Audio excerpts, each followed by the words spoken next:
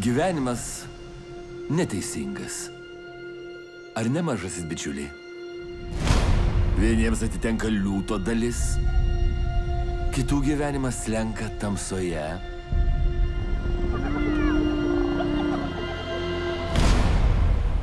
Tenkinantis atliekomis. Disney pristato Visur gamtoje egzistuoja trapi pusiausvyra.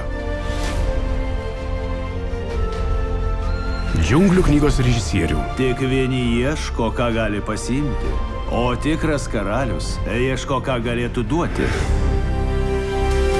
šią vasarą.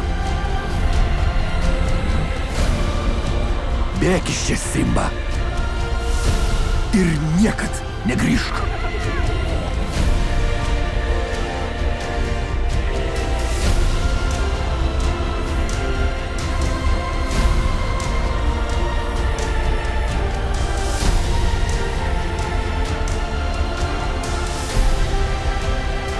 Privalai užimti savo vietą. Gyvenimo rate.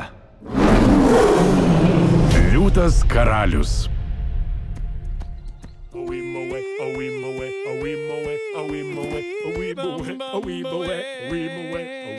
Greitai kinuose.